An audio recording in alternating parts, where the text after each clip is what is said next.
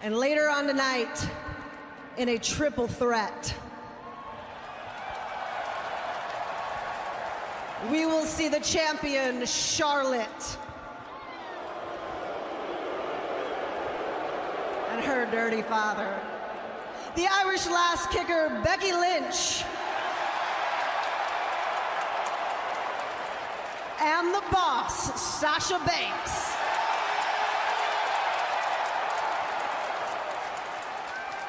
Those three women have been very instrumental in this next evolution of women in this business, the Divas Revolution.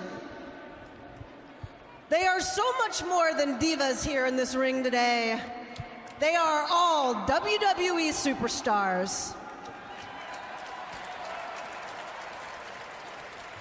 So it is with my great honor to let you guys know tonight the winner of the triple threat will be the recipient of the first ever WWE Women's Championship.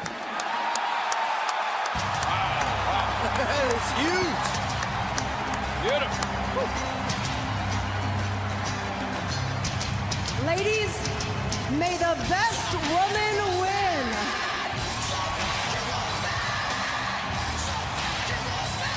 好好？